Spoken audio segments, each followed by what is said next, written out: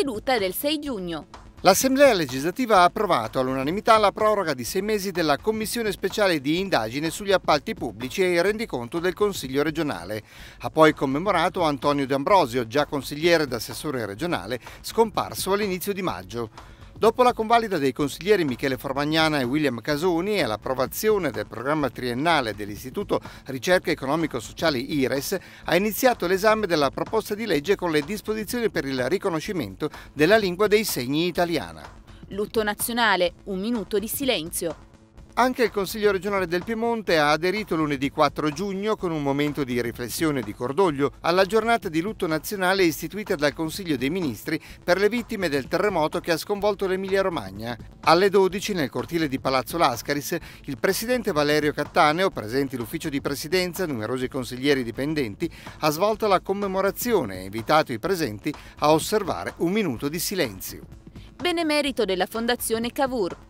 Il 6 giugno a Santena si è commemorato Camillo Benso Conte di Cavour nel 151 della morte e 160 anniversario della sua nomina a primo ministro del Regno di Sardegna. La fondazione intitolata allo statista ha consegnato al Consiglio regionale il diploma di socio benemerito della Fondazione Cavour e i presidenti Valerio Cattaneo e Nerio Nesi hanno sottoscritto un protocollo d'intesa per promuovere e valorizzare la figura di Cavour.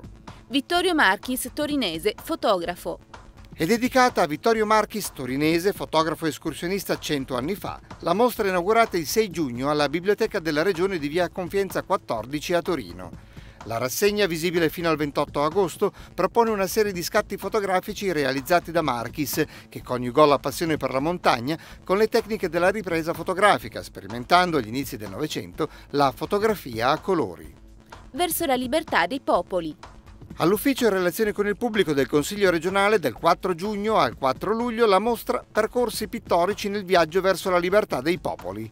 Alla presentazione dell'allestimento, curato dal comune di Torre Canavese, sono intervenuti il presidente dell'Associazione per il Tibet e i diritti umani del Consiglio regionale del Piemonte, Giampiero Leo, il sindaco di Torre Canavese, Pietro Bertinetto, e il critico d'arte Marco Datrino.